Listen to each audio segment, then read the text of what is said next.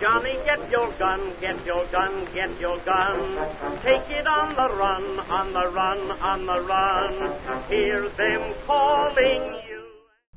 Hello, and welcome to Frontline Rejects. Today we'll be talking about 38 Wasteland, and we'll follow this up with a presentation on how to manufacture it. Many people are familiar with the video game Fallout 4, which is set in a post-apocalyptic world and features weapons manufactured out of whatever material is left lying around following the Great Atomic War. One such weapon is the pipe pistol. And here at Frontline Rejects, we thought it'd be cool to go ahead and manufacture our own working model. We recently had an initial test firing of our first model of pipe pistol, and I urge you to go and watch that presentation. Now, the pipe pistol in the video game is chambered in 38. And from this was born the idea for 38 Wasteland. Now, what is 38 Wasteland? Well, 38 Wasteland is a cartridge that uses a case which started out life as either a 38 Special or a 357 Magnum, trimmed down to the uniform length of .800. Now, in a future post-apocalyptic society, it makes sense that cases in these chamberings would not be manufactured any longer. After continuous reloading, these cases or would eventually suffer stresses and could result in split case mouths or something of the like.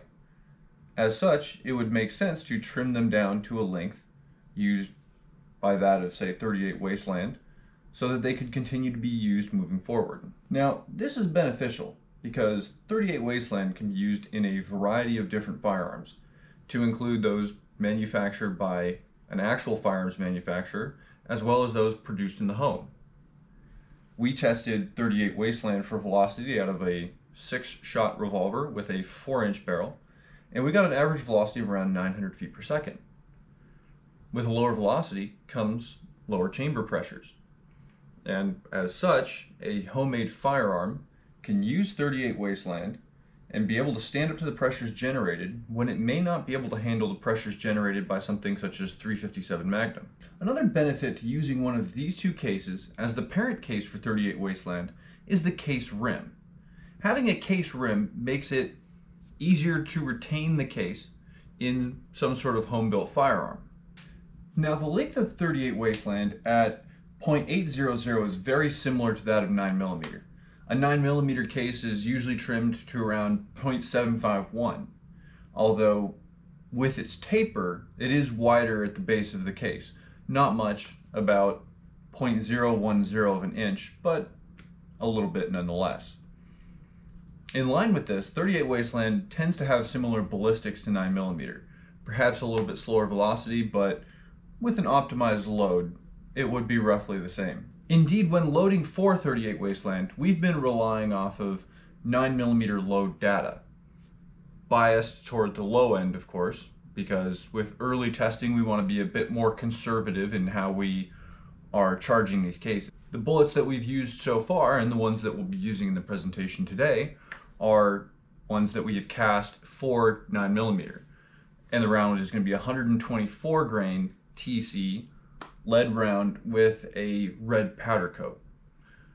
This is also in line with what would be potentially available in a future post-apocalyptic hellhole. And with that, let's get into the loading. I do want to stress, quickly, that everything we're discussing today is hypothetical. I'm in no way recommending that you go ahead and try this at home. We're simply videoing our journey through the development here. This sort of stuff can be very dangerous, so please don't do it. So we've got 10 cases of 38 special set up here, and these cases will be the basis for our 38 special or 38 wasteland that we're going to load today.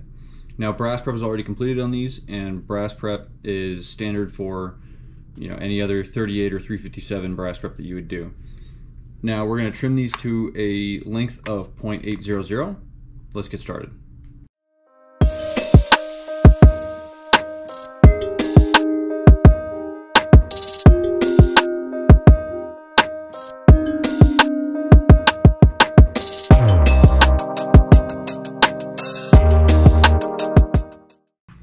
Our 38 wasteland cases are now trimmed to a length of 0.800 and we've also chamfered and deburred the case mouth.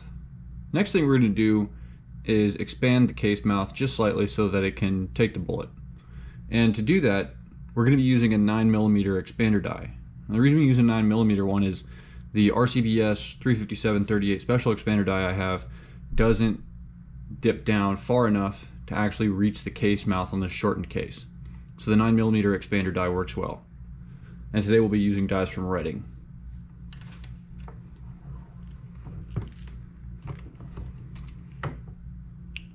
We get a slight belling of the case there. Alright, so we've got our 38 Wasteland cases trimmed to length, chamfered, deburred, and flared. We'll go ahead and prime these up. So we're using some regular Federal small pistol primers today.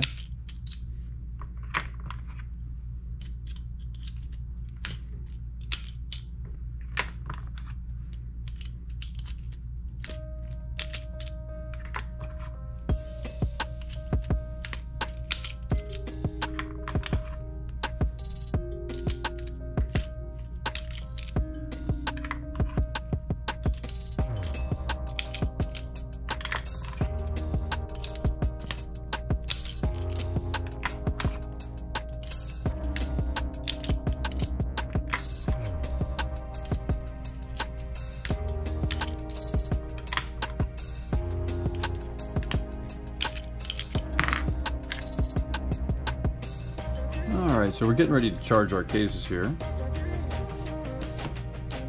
I'm not going to say exactly what our charge weight is, just because this is an experimental round.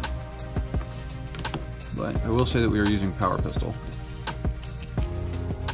And we are loading to basically the minimum recommended load, or minimum recommended charge weight for 9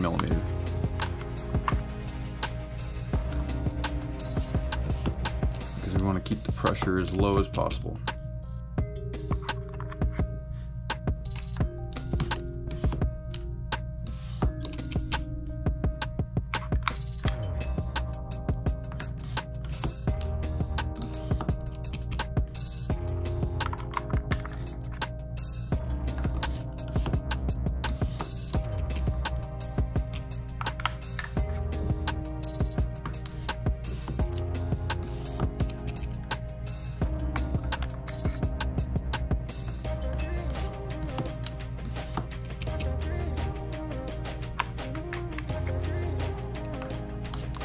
Now that these are charged, we're gonna go ahead and get the bullet seated and cases crimped.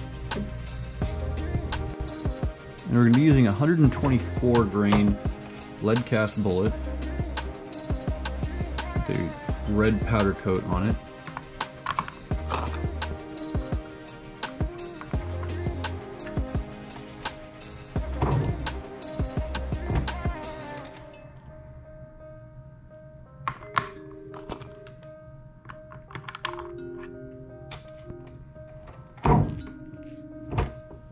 As you can see from looking at it with the bullet actually in there, it kind of does resemble a 9mm with the added lip.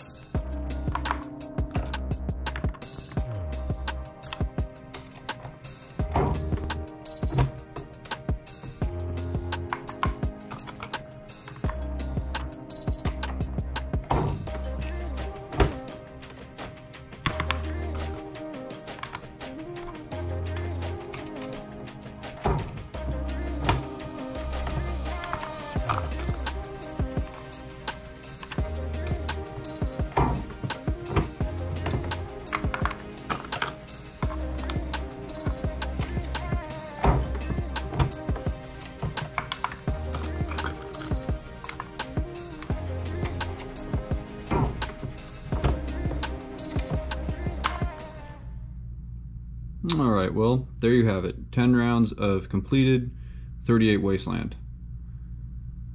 Now we're going to have a, another video coming up soon where we're going to be putting more of these through the pipe pistol. And we're also going to be doing some stress testing on that system with some 357 Magnum. Of course, stay tuned for the second generation pipe pistol We hope to see you there. Thanks for watching.